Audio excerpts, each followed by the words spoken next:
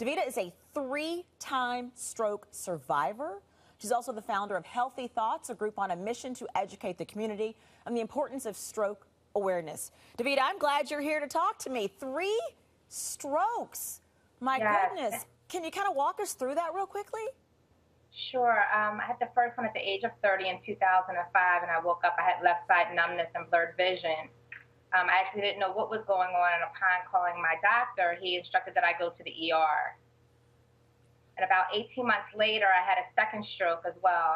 Um, that one I wasn't able to get to the ER in time, and that one was actually a massive stroke. And then about six months after that when I had a third stroke.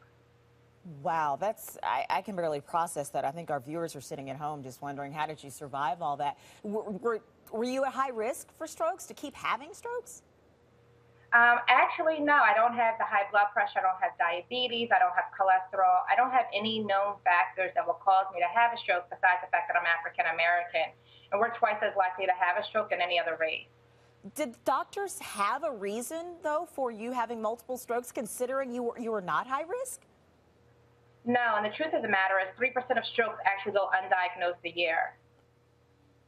Really? Okay, well then Yeah. let, let, us help people get some answers then. Right now on the screen we were showing some of the signs and some of them you mentioned that you had. What are the warning signs that something is going wrong?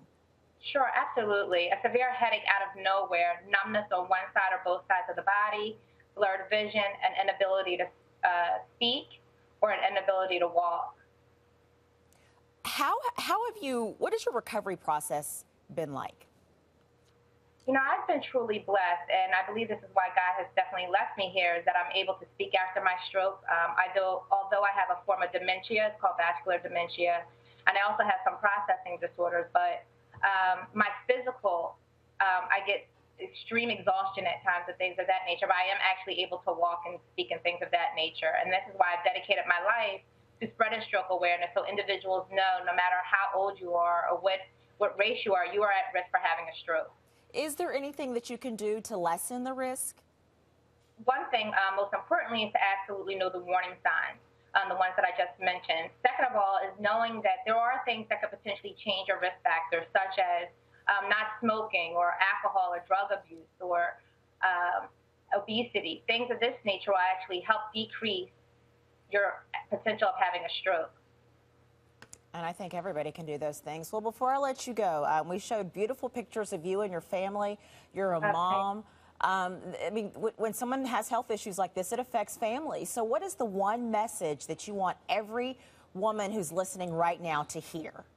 You know, I want every woman to know we as mothers and and you know, going on with our career, I was an accountant before I actually had the strokes. I have a master's degree, and I just want us to know that we need to put ourselves first. You know, that intuition that we have when our children aren't doing something right, you need to listen to it for yourself. Go to the doctors, get checked up regularly. And that's how you can be there for your family. Davita got it. A, a very powerful uh, message. We are glad that you are, uh, are far along on the road to recovery. You look fantastic. Davita, thank you so much.